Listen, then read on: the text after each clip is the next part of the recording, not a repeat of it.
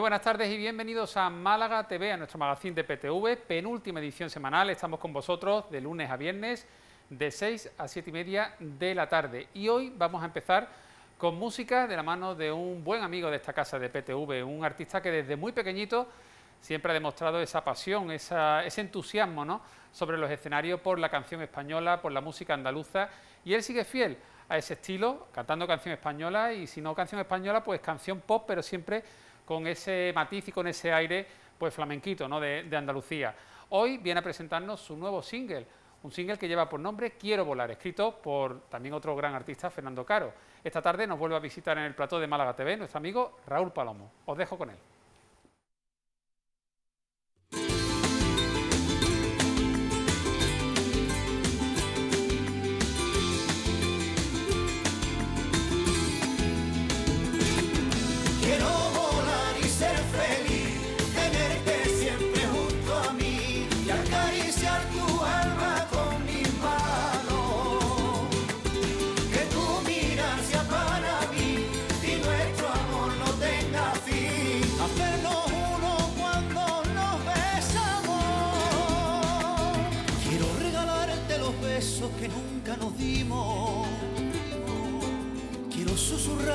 Oído y hablarte bajito. Decirte que cuando no estás yo me encuentro perdido. Me siento valiente y más fuerte cuando estás conmigo. El mundo se para un instante cuando nos besamos. Y vuelve a girar al momento en que nos separamos Soñando contigo, mi amor, no quiero despertarme.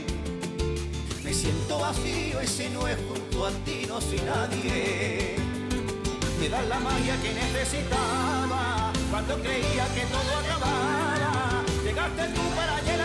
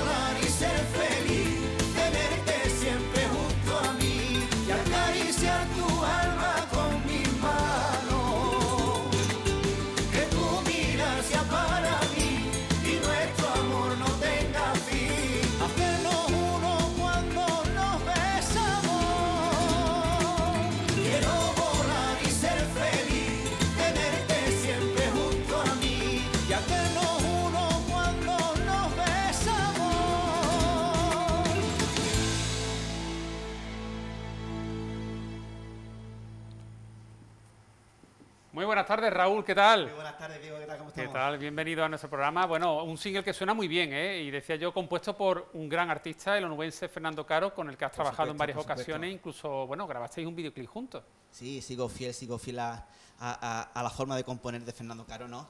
Yo siempre llamo que es un flamenquito rockero y desde el momento que contacté con él, desde el momento que le, le dije lo que yo quería, lo captó enseguida y, y ha sabido darle a esos temas un poquito más modernitos, un poquito más de, de actualidad, Sí. para llegar a más gente de la que podía llegar con la copla, que es a lo que me he dedicado desde los 15 años.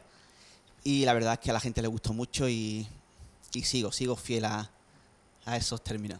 Tu pasión y tu amor hacia la música andaluza, hacia la copla, te viene, como tú bien dices, desde pequeñito, pero también te la inculcó tu propia madre, ¿no? Eh, que creo que ya incluso en la cuna te cantaba copla, ¿no? Sí, desde pequeñito. Yo siempre, yo siempre digo que le- la copla ha sido la banda sonora de mi propia vida.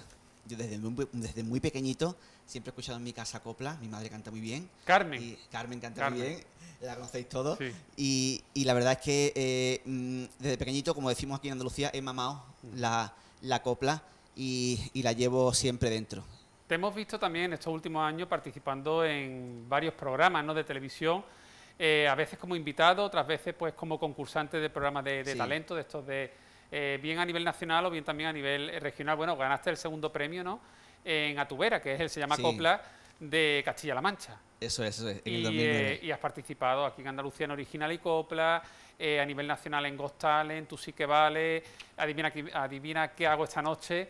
También. En fin, Tu cara no me suena todavía. vamos, es que, ¿qué te eh, falta por hacer de programa Bueno, de talento? Nunca se deja de hacer cosas. Yo Sí. siempre, siempre digo que nunca, uno nunca deja de, de aprender y siempre hay que seguir superándose y, y seguir pers- persiguiendo metas, ¿no? Y, y bueno, yo creo que me queda todavía mucho por hacer. Llevo más de acude- 20 años. Cuando acudes, por ejemplo, a un programa de este tipo, eh, Raúl, perdona que te interrumpa, pero cuando vas a un programa de, de talentos que tú ya tienes pues un recorrido, has pisado muchos escenarios, ¿cómo lo vives? Bueno, lo vivo con los, con los mismos nervios que, que el primer día. ¿Sí? Con ese respeto al público, eso, esos nervios de, de querer hacerlo bien, siempre. Eso nunca, un artista nunca debe de, de perder el respeto a lo que hace y el miedo y esa cosilla de querer hacerlo bien, por supuesto. Entonces yo lo afronto con 20 muchas ganas. años, 20 años Más- llevas, más de ¿eh? 20 más de años, más 20 de 20 años, años, desde los 15 comenzaste, años. Claro. Pedro Gordillo, Adelfa Soto, eh, Tony. Carmona, bueno, has tenido a muy buenos maestros y ya había materia prima y si encima te has puesto en buenas manos, pues claro. He tenido la, la suerte de que he, he podido beber de esas fuentes, ¿no? De esos maestros que, que tanto a mí como a muchos compañeros de Málaga y de, de Andalucía entera le han enseñado tanto, ¿no? Tenemos mucha suerte de, de haber contado con ellos y yo pues he sabido recoger toda esa sabiduría y, y bueno, y yo creo que gracias a ellos y por supuesto a la constancia y a las ganas de, de salir para adelante, pues soy lo que soy hoy. Tienes tres discos en el mercado, Sí, Y eh, bueno, has cantado pues eh, desde muy pequeñito, como decimos, por artistas como por ejemplo, pues tengo yo aquí Manolo Escobar, has cantado temas también de Marife de Triana, de Isabel Pantoja y atención, por aquí llegamos a nombres muy importantes para ti eh, a nivel artístico, ¿no? Como es el Fari y Rafael Farina, porque además se da la circunstancia de que el Fari en sus momentos comenzó admirando y como seguidor de Rafael Farina y tú comenzaste como admirador del Fari, pero a través del Fari descubriste a Farina y hoy pues cantas bastante de Farina. Eso es, eso es. El Fari es un artista que desde muy, desde muy, muy, muy pequeñito eh, me gustó, me gustó ese vibrato, esa forma de, de hacer la, la música y gracias al Fari descubrí yo que me gustaba cantar. Gracias a tararear sus canciones descubrí que me gustaba a mí cantar y decía a mi madre, mamá, pues me gusta cantar y, y- y cantaba temas del Fari. Con el tiempo, cuando ya empecé en el mundo de la copla, me, me volví un poco más coplero, sin olvidar al Fari, porque Sí. es mi ídolo desde pequeñito, pero me volví más coplero, como bien ha dicho Marife de Triana, Rafael Farina lo descubrí también en base a todo eso, y es curioso que el Fari eh, empezó admirando a Rafael Farina, y yo empecé admirando al Fari, y después me he dedicado a hacer más temas de Rafael Farina. Oye, y si yo te pido, por ejemplo, ahora que hagas nada, un trocito de, de alguna canción, por ejemplo, del Fari, Venga, pues una que conocen todos, ¿no? Mira, por ejemplo, el- la gente dice que lo imito bien, ¿eh? A ver si es verdad. Que se lleven aquel toro del agua, que se lleven aquel toro del río, que se lleven aquel que hay en la sombra, que se lleven aquel que hay escondido, pero aquel de la fuente, que nadie lo toque, que lo dejen tranquilo y no lo provoquen. Ese toro bonito ya nació para cementar. La vaquilla lo siguen, no lo dejan descansar. Y además de bravura tiene pinta de Don Juan. Vaya torito, ay torito guapo, tiene botines y no va descalzo. Ay vaya torito, ay torito guapo, tiene botines y no va descalzo. Bueno, esto era para hacerlo. Yo durante unos segundos he cerrado los ojos y era como si tuviéramos aquí al Fari, ¿eh? Igual, igual. Cuando te lo han pedido tantas veces, por algo será. Es que lo bordas, ¿eh? Lo clavas y. Muchas bueno, gracias, muchas gracias. Muchos encanta, años estudiando ahí su vibrato y su manera de, de interpretar y su tono de voz. Pues esa es la cosa que no, no ha sido una cosa que me propusiera imitar al Fari, es una cosa que la tengo tan metida en la cabeza desde muy pequeño que es un artista que no me ha costado nunca imitar un poquito su voz, ¿no? El Fari era muy grande y eh, imposible de poder imitarlo, ¿no? Pero sí que es verdad que mm, no me ha costado nunca imitar ese vibrato ligero, que también gracias a mi madre lo tengo yo, ¿no? Aunque no lo practico mucho, pero la verdad es que lo tengo tan metido dentro que no me ha costado nunca practicarlo. Bueno, Raúl, hoy en día hay que estar en redes sociales, muy importante para estar en contacto muy continuo muy importante. con, con el público, para que sepamos más de ti, cuando tengas actuaciones, cuando vayas a sacar un nuevo single. ¿Cómo podemos saber más de Raúl Palomo? Bueno, pues siempre hay que estar muy activo en las redes sociales, es lo que se lleva hoy día y los artistas están muy presentes en eso. Así que bueno, en, en Instagram, en Raúl Palomo Oficial, en Twitter, Raúl Palomo Copla y en Facebook, pues, Raúl Palomo. Ahí pueden seguir también en mi página web, Raúl Palomo. Eh, también pueden seguir todas mis actuaciones y las cosas que van saliendo. Está la cosa lentita, a ver si acaba ya toda esta pesadilla y se anima la cosa más, pero bueno, Ojalá eh, que muy pronto. se van dando. Bueno, pues si te parece, Raúl, si antes hemos disfrutado con ese nuevo single de Quiero volar, escrito por el onubense Fernando Caro, ahora nos vamos a quedar por aquí, por nuestra tierra. Fernando, eh, Javier Tapia, quiero decir, eh, compositor, cantante de Benalmádena, pues eh, sí. te ha escrito un tema que se titula Y fue el cariño. Y fue el cariño, un temazo de mi amigo Javier Tapia, que lo incluí en mi último disco, Casi un pecado. Y bueno, es una balada muy bonita que mm, espero que les guste. Pues Raúl, muchas gracias por A visitarnos vosotros y hasta muy prontito. Gracias. Muchas gracias.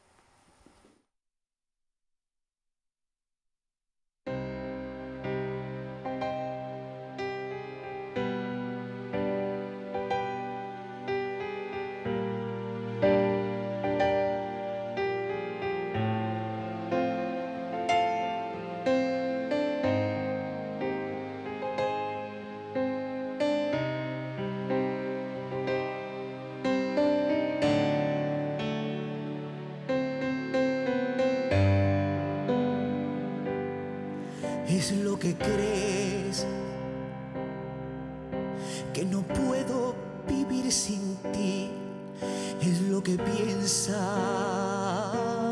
ya no me duele. Son tantos los recuerdos que me ahogan no puedo llegar a querer. Me importas poco. Aunque murmures cuando vayas por ahí, es mi sonrisa la que se escapa. Intento comprender a tu mentira, no llego a ser el eco de tu voz, no puedes controlar a mi dolor. Y fue el cariño el que lloraba igual que si fuera un niño. Tormentas que pasaban una y otra vez. Y el sentimiento que aparece sin querer. Te quise tanto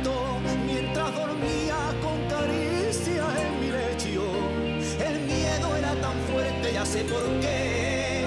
Era tan grande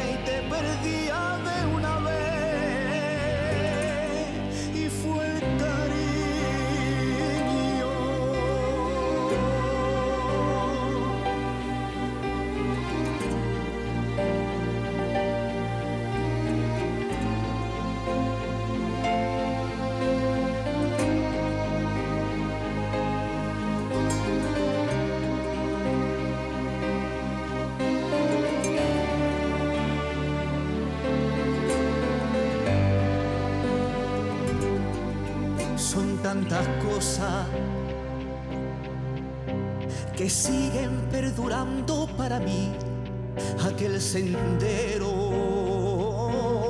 que cogimos. Caminos que me llevan a tu puerta, caminos que no quiero ya coger. Siento el rocío que cae con aroma de jazmín y siento el frío no hay nadie. Olvido todo aquello que vivimos, empiezo nueva vida sin sufrir. empiezo nueva vida sin sufrir. Y fue el cariño el que lloraba igual que si fuera un niño. Tormentas que pasaban una y otra vez y el sentimiento que Te quise tanto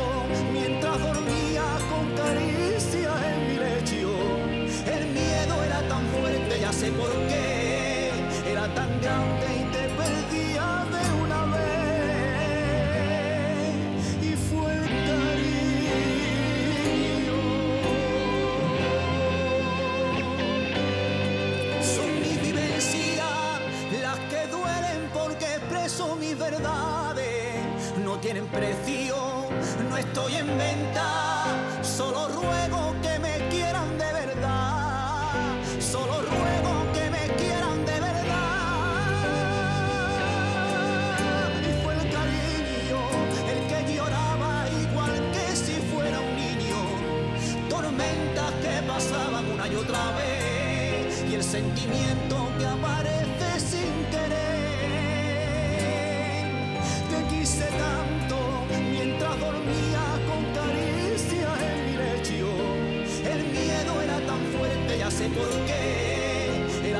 Era tan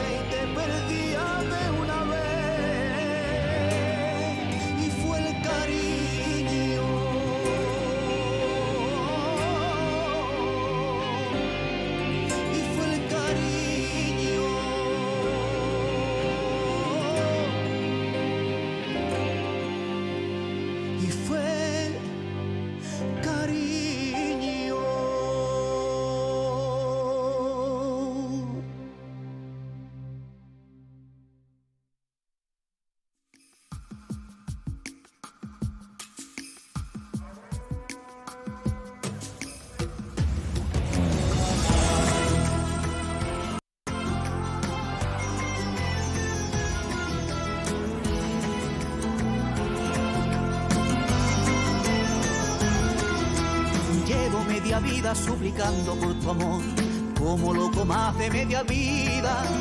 Ya no sé si vivo o si muero de dolor, voy a perder la razón.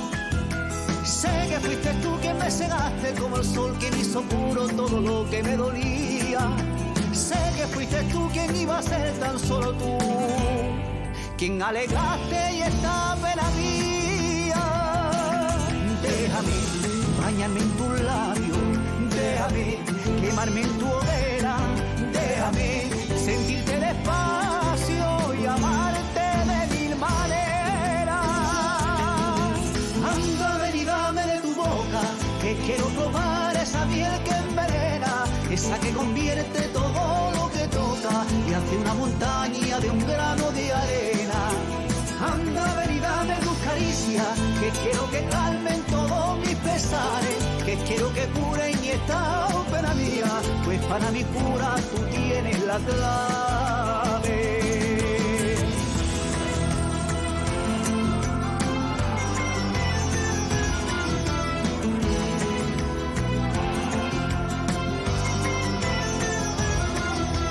Llevo media vida suplicando tu querer, suplicando más de media vida, ser tan solo tuyo y que me quieras poseer y que me hierva la piel.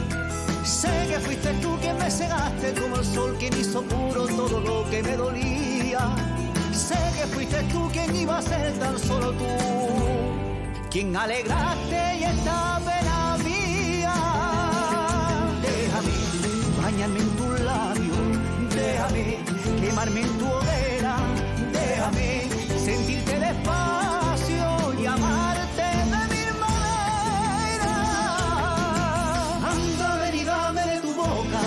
quiero probar esa miel que envenena, esa que convierte todo lo que toca y hace una montaña de un grano de arena. Anda, ven y dame tus caricias, que quiero que calmen todos mis pesares, que quiero que curen y esta pena mía, pues para mi cura tú tienes la clave.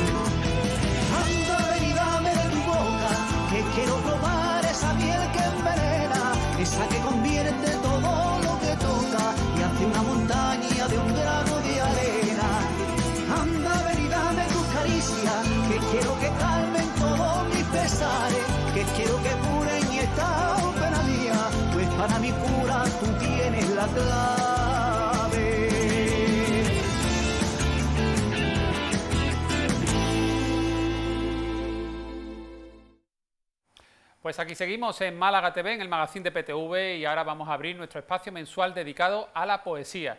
Un espacio que nos viene de la mano de nuestra buenísima amiga y colaboradora del programa, María Angustia Moreno. Buenas tardes, María Angustia. Hola, muy buenas tardes. Vamos a poner nuestra pincelada mensual de poesía al programa. Vamos a darle un poco de auge a la cultura. Claro que sí. Y hoy tenemos a un plantel de poetas, artistas muy interesantes. Sí. Y de hecho incluso vamos a tener algo de música instrumental. Sí. ¿eh? Bueno, vamos a empezar por eh, Juan Gabriel Guerra.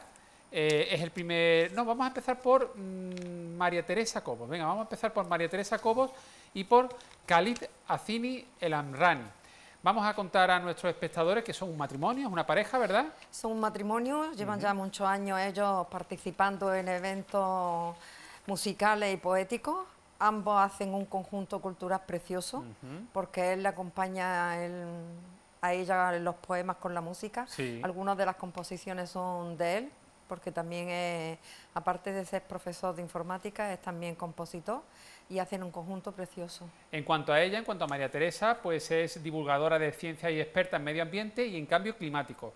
Eh, ha ejercido de profesora, o ejerce, ejerce de profesora en el CEIP El Hacho de Álora y en 2006 publicó un libro de relatos titulado Aire, Agua, Tierra y Espuma.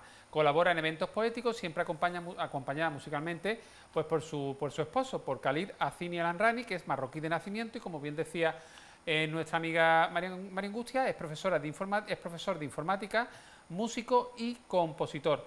Y eh, eh, participó en las jornadas culturales de Álora con ayer una historia sobre la princesa Gualada, poeta del siglo X, escrita por su propia mujer, por Teresa Cobos, y musicalizada pues por él mismo. Bueno, vamos a ver este matrimonio que han preparado para el programa de esta tarde. Vamos a verlo. Venga. María Teresa Cobos Urbano, de Nerja, poeta. su marido de Tetuán, músico, Marruecos. Somos profesores y llevamos mucho tiempo participando en todo tipo de actos culturales de nuestro pueblo. Y por eso queremos dedicarle esta canción, se llama Alora Poema Viejo. Para llegar al mar, con la mirada al menos, Subo el amanecer a mi terraza, lo imagino azul al otro lado, presiento su llamada. Hoy no me iré, quizás mañana vaya. El sol no asoma, tan solo se insinúa. El estridente gallo anuncia su llegada. El pueblo duerme, Álora calla. Mi amor adormecido me retiene. Yo no he nacido aquí, pero estaré en mi casa el mal me espera no lejos del castillo, antiguo camposanto en la colina. Silueta triste, mora, cuelga de mi ventana. Tanto pasado, tanta gallardía. El lado caprichoso me trajo este paraje. Los lunes bulliciosos, el mercadillo avanza. Llena la plaza baja, la de la despedida. Los mercaderes, frutas y verduras, zapatos y camisas, algo de artesanía. Yo no escogí el lugar, mas no me siento extraña. Arriba en la colina, en la falda del ancho está el colegio. Transcurre mi mañana entre lecciones, libros y pizarras, armada con mi tiza y mi sonrisa. Los ojos de estos niños me retienen, trenzan mi alma. Valle de naranjeros y limones, reino del Guadalhorce que agoniza, ebrio el aire de azahar con los calores tiñendo el verde campo de cenizas. Hoy no me iré, quizá mañana vaya.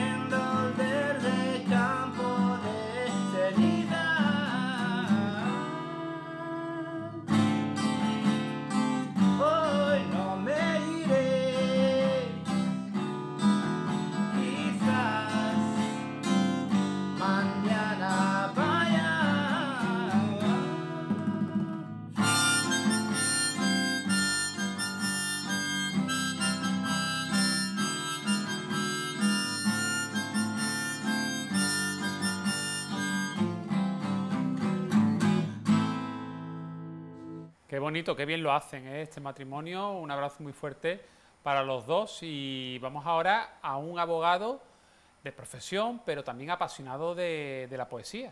Sí, Juan Gabriel Guerra Gil conoce la empieza a conocer la poesía a una edad muy temprana, pero se contagia en París, en un en, una visita que da, sí, en una visita que hace a París. Allí descubre lo que es la poesía contagiosa, inevitable, y también crea con esa idea el trueque de los poetas. Eh, con todos los poetas que empieza a conocer en la facultad. Es de Málaga, eh, ha hecho muchos eventos con Cris León, que también es una buena poeta, una poeta muy joven. La Rebotica. Y la Rebotica, exacto. De la asociación La Rebotica que se, se creó en el bar de la, de la Botica. Sí, y mm, a partir de ahí ha participado en Gritos de Mujer, en eventos poéticos, en fin, es muy colaborador en todo lo que sea el programa, en los museos, en la televisión también está aquí con nosotros, es un amante de la poesía y escribe muy bien, a mí me gusta mucho cómo Bueno, pues nos ha enviado un par de vídeos, vamos a ver el primero de Juan Gabriel Guerra Gil. Buenas tardes, soy Juan Gabriel Guerra, eh, tengo 33 años, eh, soy de profesión abogado y bueno, de vez en cuando me gusta escribir alguna cosita, que no sé si es poesía, si es eh, narrativa lírica, me da un poco igual. escribo lo que me va saliendo, lo que siento y con la estructura que, siento que es adecuada. estoy muy contento de, estar en este ciclo, así que sin más dilación os voy a leer un pequeño poemita y espero que os guste. Este se llama Despeinarte. Despeinarte supone proclamar la victoria del caos tras cada falange enredada, porque con un gesto de mi mano en tu pelo hago caer torres y alzo un violento ejército de barro, porque tus cabellos son témperas de colores en los dedos inquietos de este niño que quiere pintar el viento, porque despeinarte es desatar el vuelo de tus pájaros esparcir el aire sobre las sábanas como si fuera sal, cerrar el puño y morder la vida con la mano, es satisfacer el capricho de desordenarte la cabeza, el aliento y la mirada. Despeinarte, no querida, voy a hacer de tu pelo una metáfora de mi propia locura. Muchas gracias también a Juan por ese primer poema, luego tendremos oportunidad de disfrutar de un segundo poema que ha enviado en forma de eh, poema vídeo, pero ahora vamos a poner música de instrumento, concretamente de violín, es música instrumental. Alejandro Romero Revidiego, eh, que ha venido en varias ocasiones aquí a nuestro set, acompañando a su madre, a Pilar Revidiego. Ah, Él es un estupendo violinista, eh, también además gran bailarín de tango. Gran bailarín de tango, desde que tiene a su pareja bailan muy bien. Lo he visto bailar en varios sitios, en varios locales, más luego también en la Plaza de la Constitución se han puesto algunas veces a bailar y es una maravilla verlo. Pues Alejandro Romero, que esta tarde lo vamos a ver acompañando él con, con el violín a, su madre, mientras que recita una poesía, pero ahora vamos a ver un vídeo que hemos rescatado de sus redes sociales, eh, pues desde el balcón de, su vivienda, en pleno confinamiento duro que tuvimos en marzo, pues él eh, toda la semana lanzaba, se lanzaba ahí al balcón a, interpretar temas muy conocidos, ¿no? desde algunos de los Beatles o, por ejemplo, el caso del vídeo que hemos recuperado hoy, que es de Supertramp, de Logical Song. Vamos a disfrutar de esta pieza.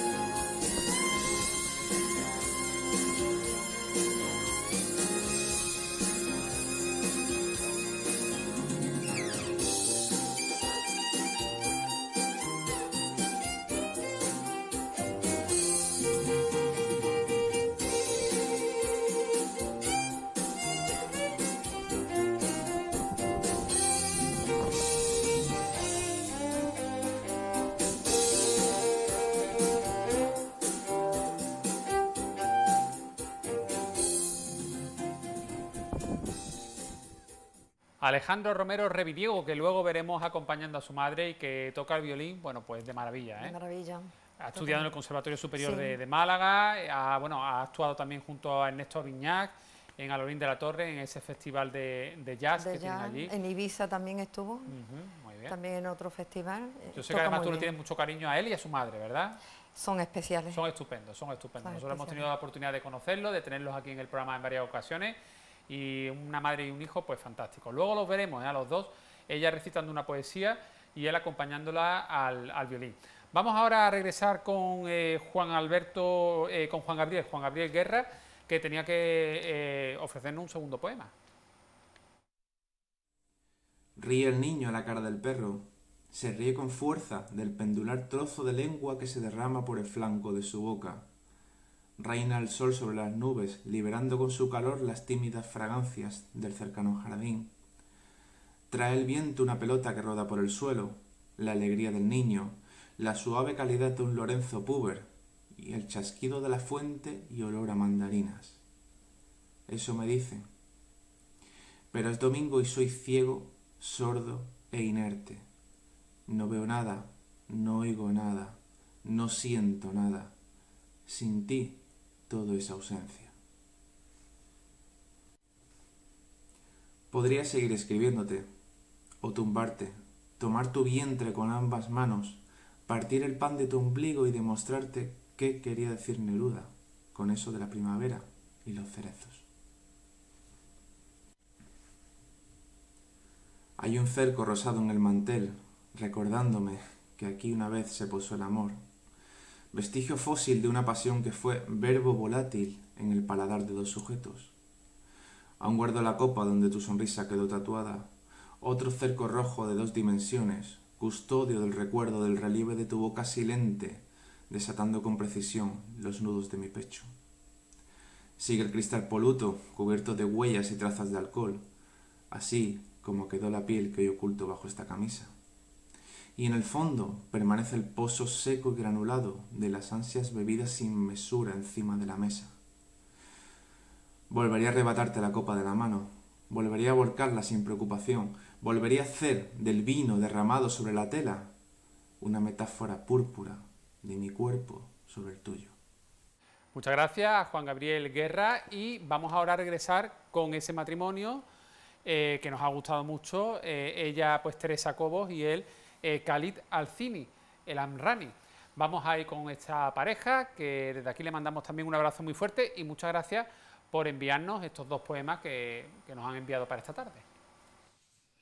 La primera vez que unimos música y poesía fue la presentación de mi novela Las alas que el viento lleva en su contra. Desde entonces, mi marido ha puesto música a todos mis poemas y vamos por el mundo cantándoles.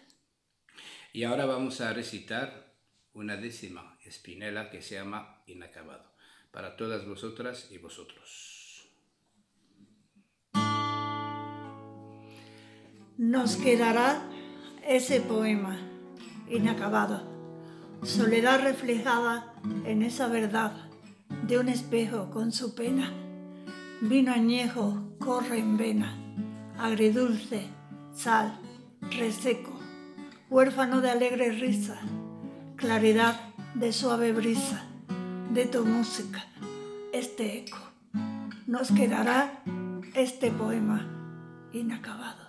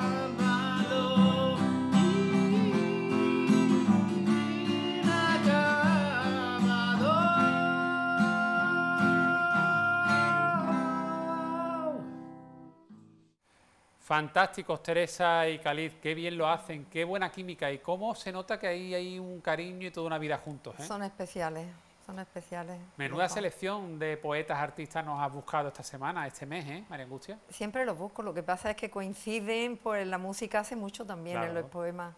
Y no siempre encuentras a gente que quiera participar, es lo que pasa. Bueno, yo fíjate, yo no te sé tocar la guitarra, ni te, tampoco la armónica, ni el piano, pero yo te doy mucho cariño y te escucho ahora el poema que tú me vas a dedicar a mí y a toda la audiencia. Vale, eh, yo Sin son música, como sí. cortitos. Venga, ¿cómo se titula? ¿Tiene nombre? No tiene nombre porque tiene. estoy preparando un libro de poemas espontáneos, los Ah. que me salen en, el- momento, ¿no? Eh, Perfecto. y eh, me he traído un par de ellos. Y este dice así: No traduzco versos de Tagore, comprendo la sensibilidad de White Whitman. No he combinado la metáfora para decir cuántas veces amé, cuántos poemas escribí, cuántas veces me entregué. No practiqué la incomprendida palabra amor. La sencillez del mundo está en ti, amor, repetido mil veces sin ser comprendido. Muchas gracias, María Angustia. Muchas gracias. Ya hablaremos de ese libro cuando vea la luz aquí en el programa.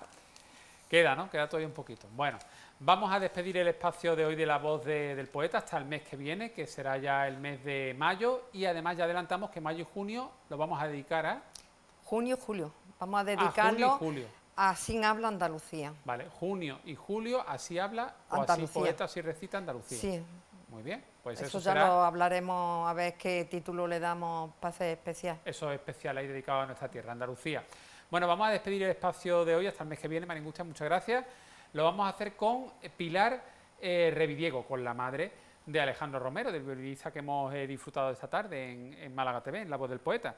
Bueno, decir que eh, Pilar Revidiego Muñoz es de Málaga, muy pronto en ella se despertó el interés por la literatura y de manera especial por escribir relatos cortos y poesía. Actualmente forma parte del taller de prácticas literarias con perspectiva de género impartido por Cristina Consuegra. Asimismo, también pertenece a la Asociación Malagueña de Escritores Amigos de Málaga, a la revista Utopía de las Artes que dirige nuestro colaborador Antonio Quero y al Grupo 21 participando en recitales poéticos. Vamos a ver eh, qué ha preparado con el acompañamiento, además en este caso, de su hijo, el violinista Alejandro Revidiego. Buenas tardes, mi nombre es Pilar Diego. Voy a recitar dos prosas poéticas y me va a acompañar al violín Alejandro Romero. El primer tema se titula Mujer y dice así. Tan solo con tu mirada me acaricias, mujer de sonrisa viva, encantada. Fuerte es tu amor, franco, alegre en cada nuevo amanecer. Escondes tu dolor para aliviar el amargor de mis tristezas.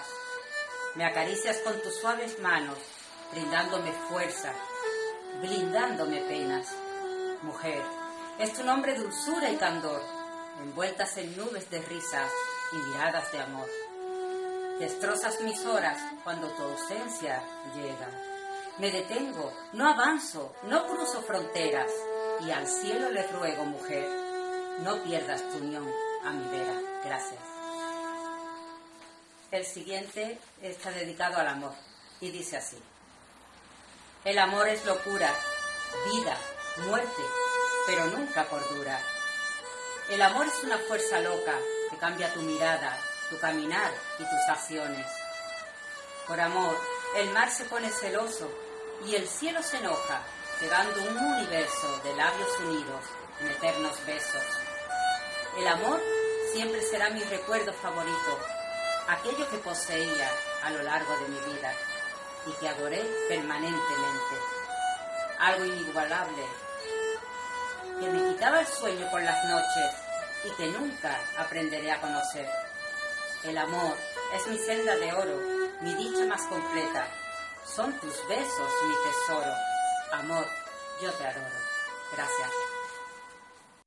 Pues con Pilar Revidiego y con Alejandro Romero Revidiego terminamos el espacio mensual eh, de La Voz del Poeta hasta el mes que viene, hasta el mes de mayo. Y ahora vamos a ese espacio que tenemos en este caso quincenal, dedicado a los viajes, a los destinos turísticos, porque algún momento digo yo que esto mejorará y podremos salir de nuestra provincia, de nuestra comunidad, eh, podremos viajar por Andalucía, fuera de Andalucía y a lo mejor incluso también hasta por el extranjero, ¿no?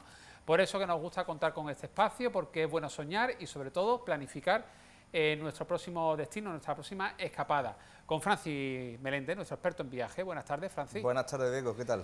Viajar te da al final eh, amplitud de mente, cultura, eh, te va Alegría. de- alegría, por supuesto.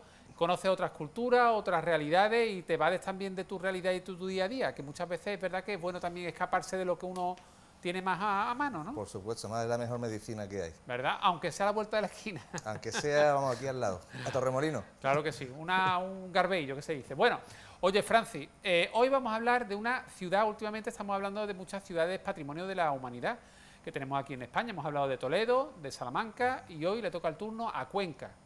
Una ciudad que, además de esa estampa tan característica de las casas colgantes de Cuenca, pero tiene mucho que ofrecer. Sí, la verdad que sí, es una ciudad que está un poco olvidada realmente, pero que una ciudad que se necesita cuatro o cinco días para lo que es conocer la ciudad y, los y alrededores. y alrededores.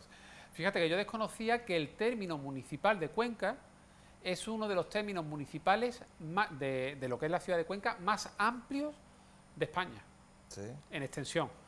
Eh, eso sí, eh, mm, vamos a decir que a nivel de población, pues es verdad que es una ciudad con pocos habitantes, tiene unos menos de 54.000, menos de 55.000, 54.600 habitantes según el censo, según el padrón de 2020.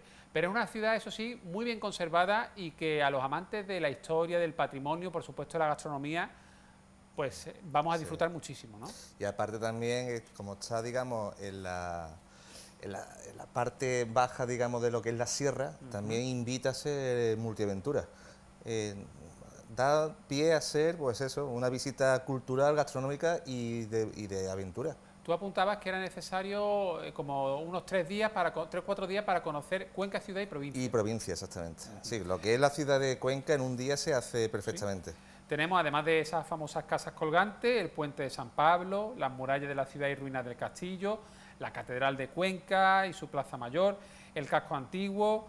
eh, bueno, también tenemos ese museo paleontológico de Castilla-La Mancha que está en Cuenca y que ahí podemos ver fósiles de dinosaurios y bueno, los amantes de todo lo que tiene que ver con eh, esa época y con el mundo dinosaurio, pues van a flipar, ¿no? Ahí ten- tenemos realmente dos zonas para ver museo de dinosaurios y un poco lo que fue aquella época, que es Cuenca y Teruel. En Teruel también tenemos Dinopoli Sí. y en Cuenca tenemos el museo que más que de dinosaurios es de reptiles posteriores a los dinosaurios. Ajá, muy bien. Luego veremos imágenes de ese museo paleontológico de, de Cuenca, pero es cierto que, que en Teruel también tenemos Dinópolis, que, que, bueno, es como un parque temático, Ese ¿no? sí es más de dinosaurio de la época, época auténtica de los di- dinosaurios. Bueno, estamos viendo imágenes de, eh, promocionales, ¿no? De, de Cuenca ciudad, de, de también ese eh, reconocimiento, ¿no? Y que me imagino que una ciudad que vela por proteger su patrimonio, su historia, que adquiera la categoría de ciudad patrimonio de la humanidad, pues eh, yo creo que es todo un logro y que habrá un antes y un después, ¿no? Después Sí. de conseguir esa catalogación. Aparte se, se conserva muy bien Cuenca porque se guarda todo lo que es la parte norte, la parte más hacia eh, la sierra, lo que es el casco antiguo, y ha crecido mucho Cuenca Sur, que es donde está, digamos, la, la parte más joven, donde está, eh, las nuevas edificaciones, la nueva ciudad está toda la parte sur. De Castilla-La Mancha, ¿tú dirías que es de las ciudades más eh, atractivas para el turista, más visitada o no tanto? Una de ellas. Una de ellas. Una de ellas. Desde luego guarda ese, esas ca- calles empedradas y ese, esos monumentos. Tiene justo para alojarse está el Parador de Cuenca, que es un antiguo convento muy Sí. bien conservado y que da a lo que es el río y al- a lo que es el puente y a, la- y a las casas colgadas. Y la verdad que es un espectáculo dormir en, en ese, en ese parador. Y entre Toledo y Cuenca, por ejemplo, eh, que son dos ciudades patrimonio de la humanidad, también las dos en Castilla-La Mancha, eh, ¿quién recibe, por ejemplo, más visitantes? Toledo, Toledo, Toledo, por la proximidad quizá con Madrid, ¿no? Y aparte porque en Toledo tiene también, llama mucho el tema del Greco, llama mucho su catedral. La catedral de, de Toledo es, es una de las principales de España. Eh, Toledo tiene un, un nombre, un renombre a nivel mundial. Bueno, pues vamos ahora a ver imágenes del museo, compañeros, si es posible, del Museo Paleontológico de Cuenca. Eh, un museo que vemos en la arquitectura, un edificio moderno, pero en su interior, pues eso sí, nos eh, retrocedemos un montón de siglos Un atrás. montón.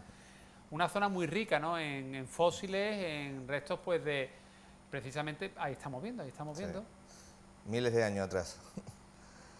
Sí, eso, sobre todo en la entrada de, de ese museo lo, lo recibe un- una especie de dinosaurio recreado, ese que estamos viendo ahora, y eso es una delicia para los niños, Bueno, es que esto es como si estuviéramos en la película de Jurassic Park, casi, ¿eh? casi, casi. la verdad que sí. ¿Es un museo eh, que hay que reservar entradas o allí mismo No, no, no, no es hace falta, necesario, ¿no? no hace No falta. Tiene, tiene coste la entrada, no, recuerdo ahora cuánto, pero Sí. no se forman largas colas para, para entrar. Cuenca en sí realmente eh, es una ciudad muy visitable y sin muchas aglomer- aglomeraciones, al todo lo, lo contrario de Toledo. Toledo en época en temporada alta eh, vas, digamos, codeándote por las calles con la gente. Te puedes encontrar colas, por ejemplo, a la hora de Muchas colas, acceder a sí, museos, a, exactamente. Cuenca, a por- recintos todo lo contrario, es una ciudad muy tranquila. Es más, se agradece que sea tranquila porque estás un día de visita a nivel cultural y luego es que la sierra la tienes justo pegada a, a lo que Tiene es el casco naturaleza muy cerca, ¿no? Tiene la naturaleza pegada a lo que es el casco histórico. Entonces da pie a darte tus paseos, mm, hacer senderismo y darte tus paseos por, la sierra.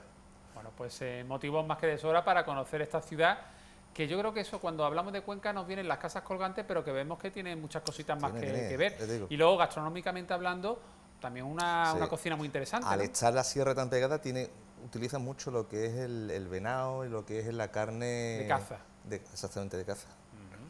Bueno, vamos a ver eh, imágenes ahora de la provincia de Cuenca, en general de la provincia de Cuenca, porque además de Cuenca ciudad, pues ya que estamos allí, si al lugar de ir a lo mejor un fin de semana planificamos esa escapada, pues cuatro días, tres, cuatro días. Es que de aquí de Málaga, mm, dos noches hace corto. Claro. Lo, lo suyo es ¿Cuánto viene a tardar en coche? Porque lo mejor es para ir en coche, ¿no? Desde En Málaga. coche son unas cinco horas y media, una cosa así. ¿Otra opción? Otra opción es eh, coger el AVE a Madrid y luego el Albia a Cuenca, el tren a, la- a Cuenca. ¿Tú qué recomiendas, Francis? Por comodidad en tren. Ahora, si se quiere hacer un poco de parada, se puede aprovechar perfectamente para hacer un Toledo-Cuenca. No es ninguna mala idea. ¿Y en cuántos días, por ejemplo, propondrías esas eh, dos ciudades visitas en Cuatro cuatro, días perfectamente. Sí, suficiente. So- Sobre todo ahora, que no hay colas para hacer na- para nada.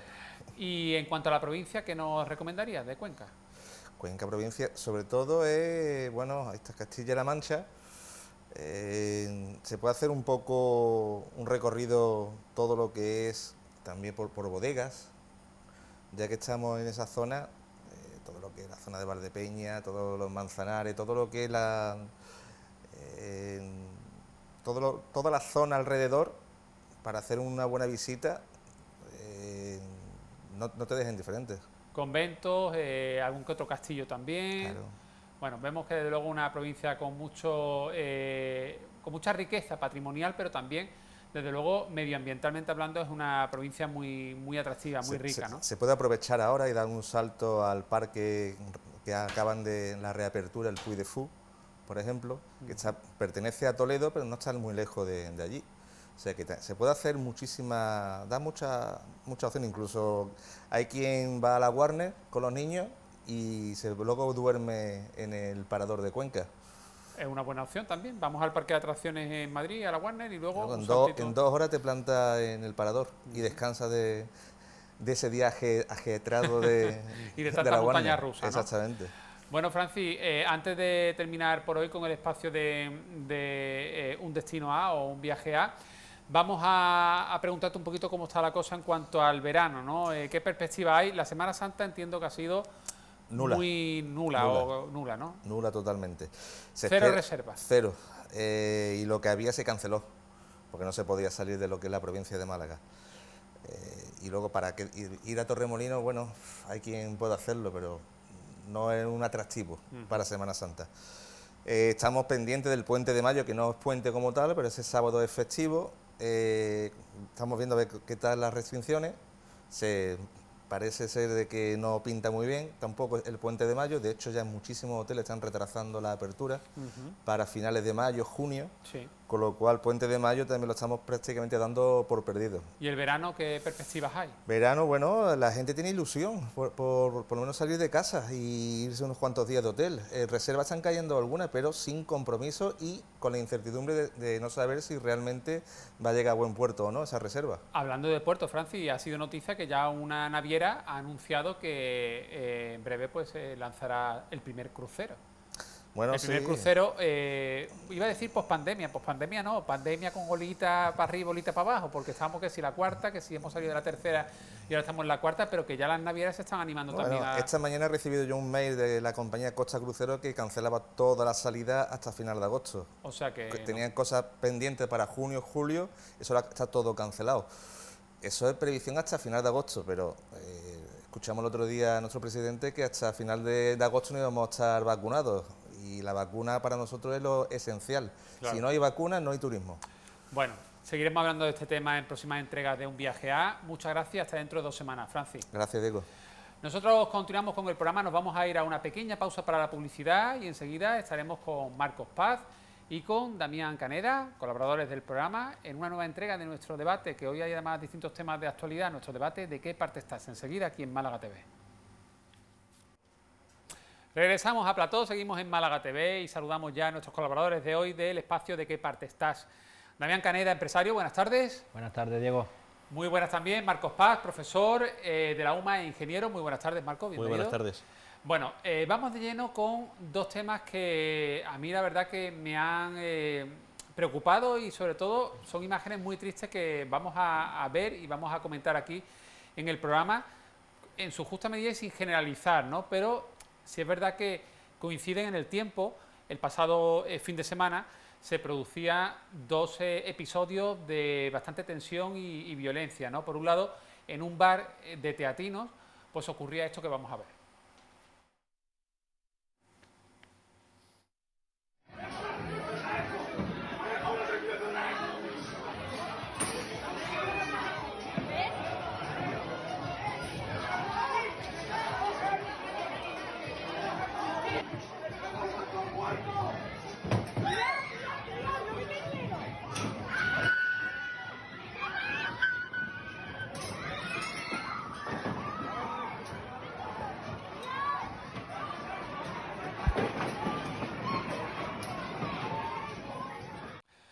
Ese fin de semana también hubo otra agresión, según me comenta Damián, en otro bar, en este caso en el centro ¿no? de, de la ciudad. No vamos a decir nombre, obviamos el nombre de- del local y de la víctima, pero sí también hubo una agresión fue, fue- importante. Fue en la salida, fue en la calle. fue En la calle. Fue en el centro, sí. En la calle. Bueno, pues eh, a estas dos agresiones hay que sumar eh, la paliza que propinaron una serie de clientes, tres, cuatro clientes, entre 20 y 30 y pico años, ¿eh? A un taxista eh, malagueño de nacionalidad eh, española, aunque de origen eh, creo que era de eh, Senegal, creo recordar, pero de nacionalidad española. Bueno, pues vimos una agresión, tenemos las imágenes en la avenida Isaac Peral. Vamos a escuchar, hemos preferido, igual que lo de Teatino, hemos preferido eh, difuminar un poquito la imagen, sobre todo aquí en este vídeo, porque la verdad que la violencia es, la verdad que duele verlo, es brutal. Pero escuchen lo que, lo que allí se vivió.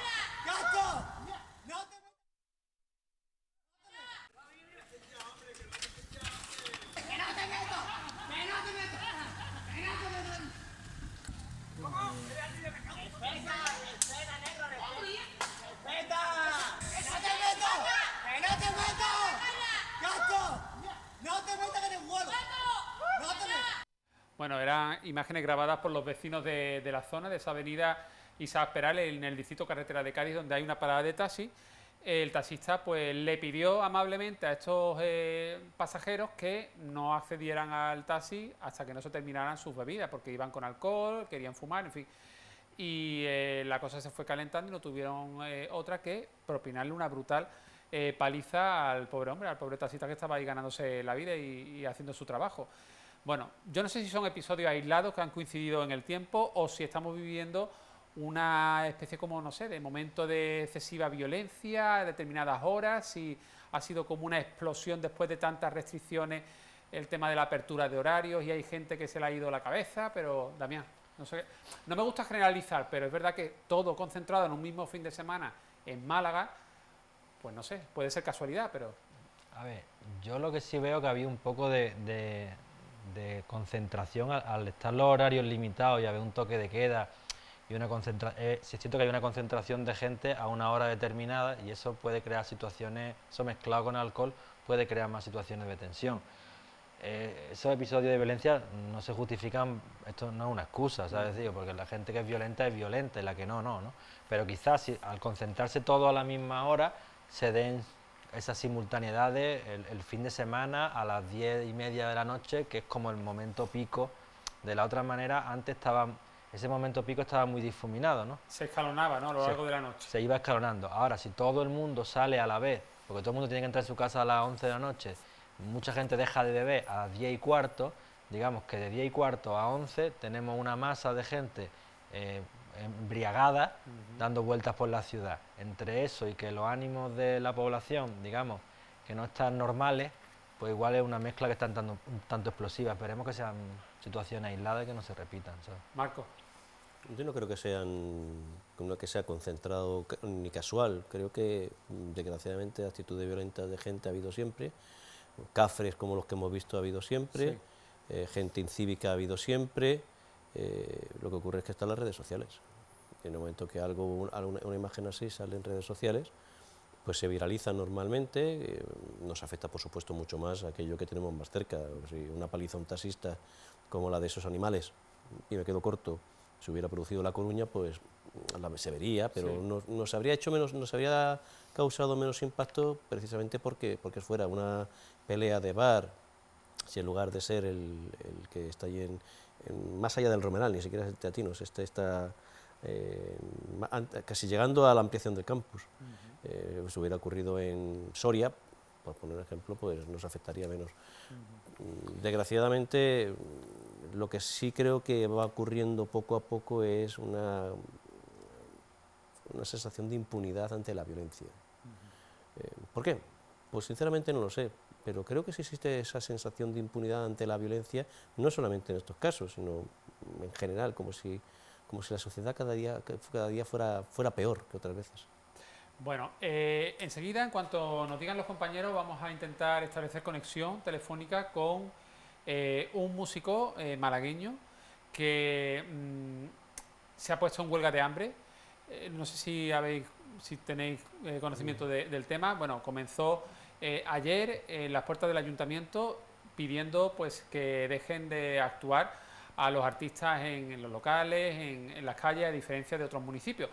Es una guerra eterna que tienen muchos artistas de, Málaga y que parece que no hay ahí un entendimiento con el ayuntamiento y que es cierto que con respecto a otros municipios, pues aquí en Málaga parece que la cosa es diferente, ¿no? que, actúa de una manera el ayuntamiento aquí en Málaga y en otros municipios pues tiene otro, otra manera de ver el asunto.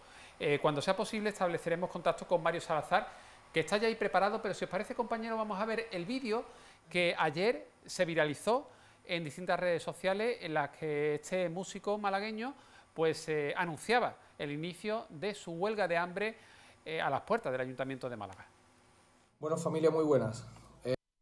Para el que no me conozca, soy Mario Salazar, músico de Málaga, y quiero explicar un poco lo que voy a hacer a partir de mañana miércoles. Eh, no sé qué día exacto es, pero a partir de mañana miércoles pienso hacer una huelga de hambre en la mismísima puerta del Ayuntamiento de Málaga eh, por el simple hecho de que como músicos no nos dejan trabajar. La música en directo para ellos les supone un problema en los establecimientos. Eh, yo creo que la música no es el problema del COVID-19. Yo creo que la música en directo es eh, riqueza cultural para nuestra ciudad y se está perdiendo. Eh, yo quiero dejar claro que hago esto porque me han suspendido absolutamente todo lo que tenía de aquí en adelante.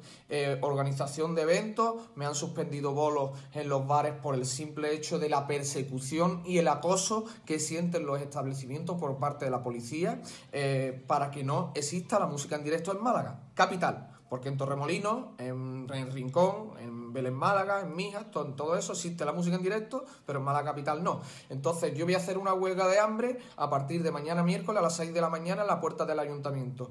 Y quiero dejar bien claro, yo no me siento en un despacho para que nadie me diga, vamos a estudiarlo, vamos a procesarlo, vamos a verlo. No, no, no, no. Yo me siento en un despacho para que alguien me diga, puedes trabajar. Y hasta que a mí alguien me diga, puedes trabajar, yo de ahí no me voy a mover. Mañana miércoles a partir de las 6 de la mañana, Mario Salazar hará huelga de hambre en la puerta del Ayuntamiento de Málaga. Simplemente por y para la música en directo. Muchas gracias. Bueno, pues enseguida eh, establecemos conexión telefónica con Mario, que está ya ahí preparado, pero Damián, mientras que escuchábamos este vídeo y Marcos, Damián asentía. Eh, ¿No te suena raro este, este tema? ¿Te suena familiar, no? Completamente familiar. La, o sea, la- la música en directo se ha perseguido en Málaga, pero no es ahora por el COVID. Ahora por el COVID está saliendo más porque le están suspendiendo en, en muchos sitios y, la- y las criaturas están llegando a una situación agónica. Pero la persecución contra la música en directo en Málaga es una constante. O sea, eh, no les dejan trabajar, no nos dejan a, los- a los establecimientos contratarlos. Se está obviando una parte de la cultura, de la creatividad malagueña, eh, con el- asociaciones vecinales que protestan por ello y le- relega a esta gente a, a pasarlo mal, ¿eh? Bueno, pues vamos a hablar con, con Mario. Mario, buenas tardes. Buenas tardes. Desde ayer miércoles has iniciado esa huelga de hambre eh, a las puertas del ayuntamiento. De hecho, tenemos alguna instantánea, alguna fotografía. Ahí está, poniéndola a los compañeros. Mario, eh, bueno, cuéntanos qué repercusión está teniendo esta huelga de hambre, estos dos primeros días de huelga de hambre, y no sé si has podido ser atendido por algún concejal o por el propio alcalde. Cuéntanos. Sí, bueno, he sido eh, atendido por eh, todas las oposiciones, por todos los partidos políticos y por parte del alcalde también. Pero esto es la, la- esto es, eh, el- el- se muerde la cola, es la pescadilla que se muerde la cola. Aquí se pasan la mano de uno a otro. Eh, entonces, como bien ha dicho Damián, la música ha sido perseguida durante muchísimos años. Yo llevo tocando desde los 16 años y la música no se ha valorado nunca en directo. La música en directo no se ha valorado nunca. Ha sido tratada como si estuviéramos cometiendo un delito en los, esta- en los establecimientos. O sea, eh, que en, una ciudad como Málaga pase esto y que en el rincón de la victoria a mí me hable un concejal y me diga, aquí tienes tu pueblo y tu casa para hacer lo que te dé la gana, que no tienes ningún problema en los establecimientos para hacer música en directo, la verdad que es muy fuerte. Mario, eh, entiendo que cuando tú inicias esta huelga de, de hambre, lo haces por un lado para eh, poner sobre la mesa un problema que tenéis muchos de, de los artistas malagueños, muchos músicos como tú, pero también por una situación ya de desesperación personal, ¿no? Porque por eso te quería preguntar, ¿cuál es tu situación actual? Mi situación actual es ahora mismo que llevo dos meses de suspensiones de trabajo, de trabajo y organizaciones de eventos. Es imposible tocar en un bar. O sea, la- el Ayuntamiento de Málaga no quiere música en directo en el centro de Málaga. Eh, en los restaurantes está vetada la música en directo. Existe una serie de licencias ilógicas y que con una serie de requisitos impresionantes que son eh, eh, brutales para los establecimientos conseguir ese tipo de licencias. O sea, yo, mi lucha es porque la música en directo en Málaga sea habitual de una vez en todos los, todo, en todos los establecimientos que la requieran. Mario, Sí. Eh, ¿qué te ha dicho el alcalde cuando te ha visto allí en la- a las puertas del ayuntamiento?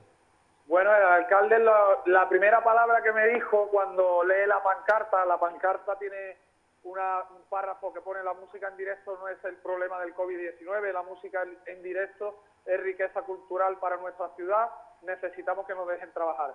Lo primero que dice el alcalde es la música en directo no es el problema, el problema es el ruido. Ellos se acogen a la ley del SAS. La ley del SAS es zona acústica saturada que existe en el centro de Málaga, solicitada por el 90% de los vecinos del centro de Málaga. Pero la, la ley del SAS no viene a través de los establecimientos. La ley del SAS viene a través del volumen de gente que se concentra en las calles del centro, en distintas calles del centro de Málaga. Sí.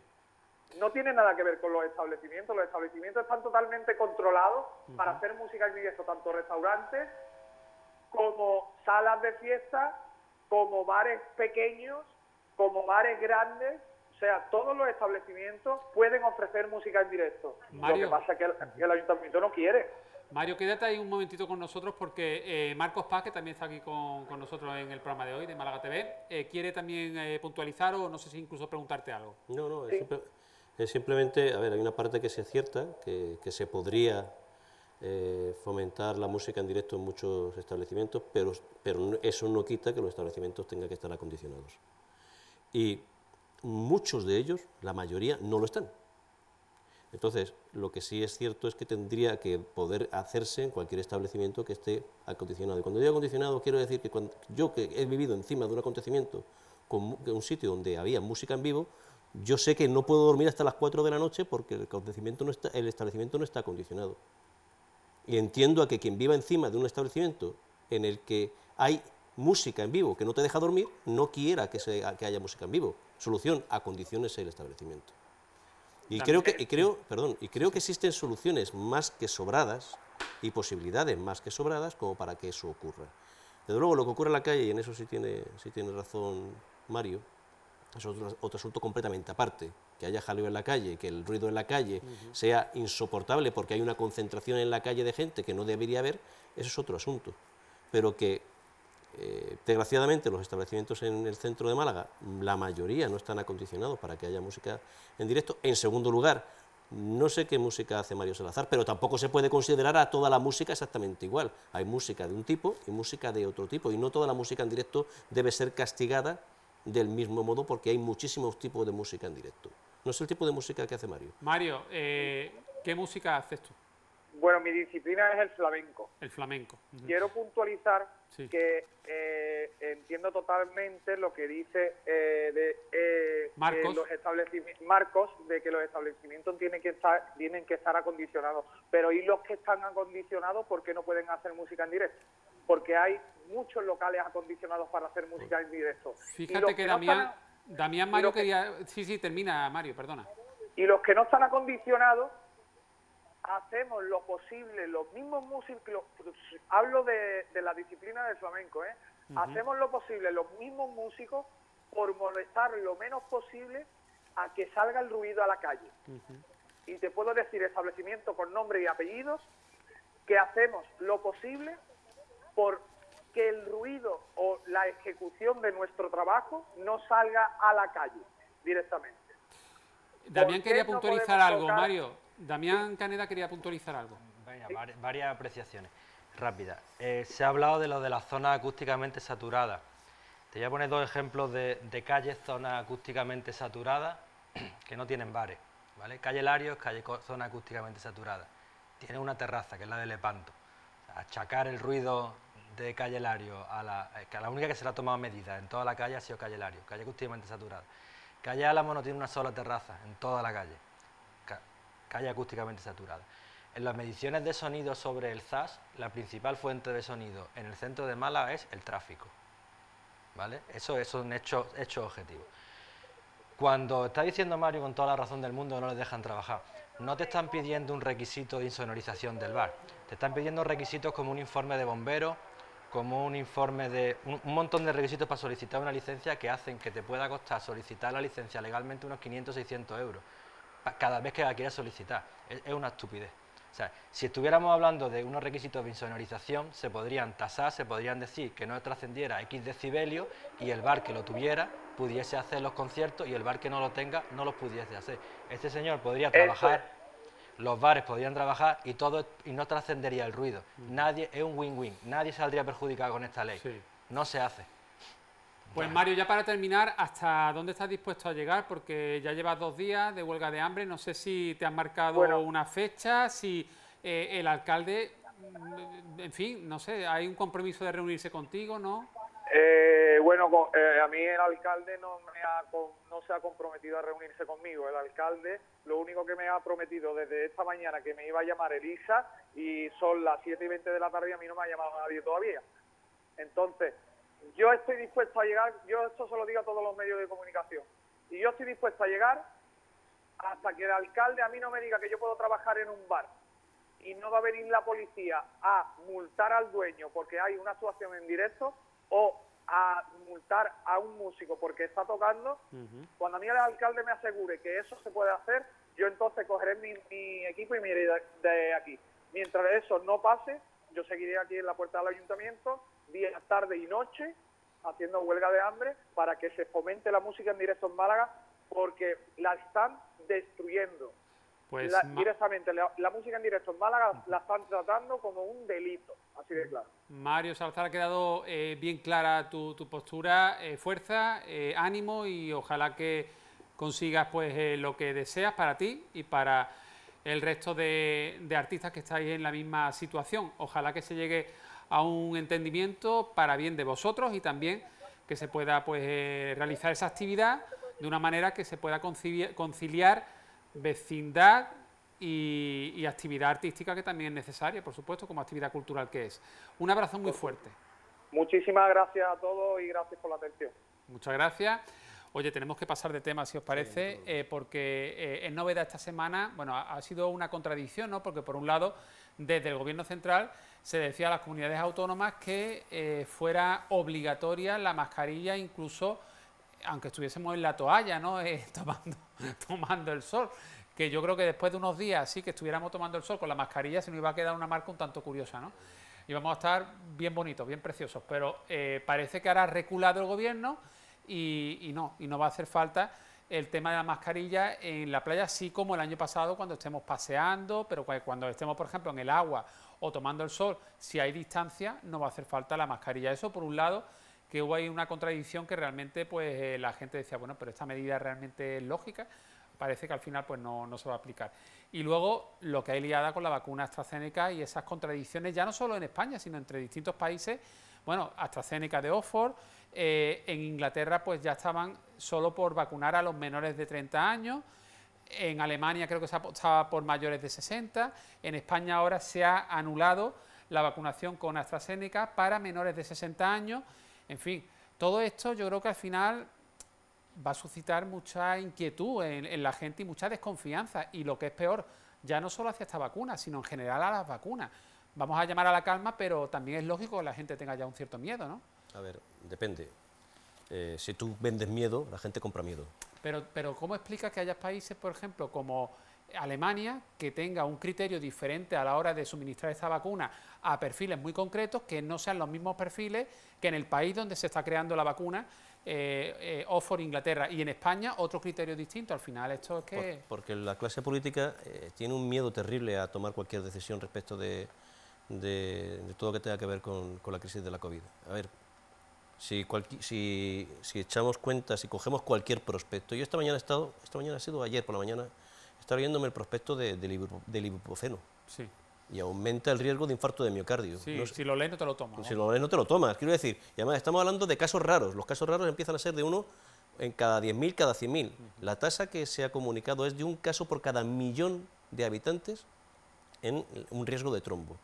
Que no quiero decir que sea algo que haya que pasar mm, por Sí. encima de manera ligera, pero que empecemos a echar cuenta de cuántos medicamentos pueden suponer exactamente los mismos trombos, infartos de miocardio, eh, erupciones, mm, mareos, vómitos, que se coja cualquiera. Y por último, y lo respecto a las mascarillas, Sí. pues igual, no, parece mentira que después de un año, y perdona, Demen, que, que termino enseguida, Que después de un año... que después de un año todavía sepan, no sepan ni qué decisiones tomar, porque tienen que cambiarlas sobre la marcha. Es tu momento de terminar, Damián, rápidamente. Ah, no, no, no. Que- no, no, comparto lo que dice, lo que dice Marco, que, lo, que hay mucha, incertidumbre, los políticos no lo están haciendo bien. O sea, hay que vender seguridad y confianza. Eh, los riesgos de vacunarte son mucho menos que los de no vacunarte. Ese debería ser el mantra que deberían estar repitiendo constantemente. Bueno, ¿y ahora qué pasa con estos que le han vacunado, que son menores de 60 años, que tienen una vacuna ya puesta, una dosis de AstraZeneca, ahora los dejamos ya sin la segunda dosis, le ponemos una segunda dosis, le ponemos, están diciendo que a lo mejor le ponen otra vacuna, están ahí entre Qué dimes y diretes. qué desastre, qué desastre, qué desastre. En fin.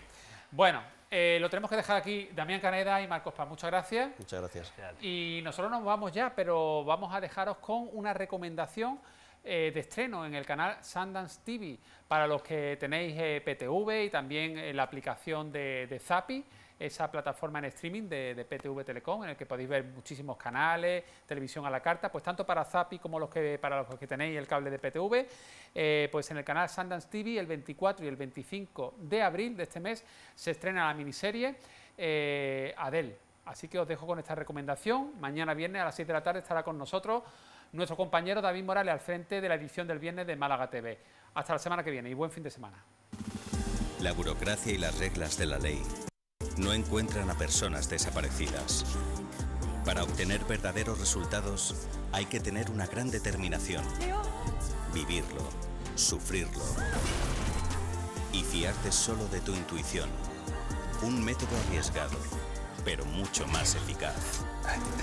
Adel, estreno de la miniserie completa el 24 y 25 de abril a las 7 de la tarde en Sundance TV.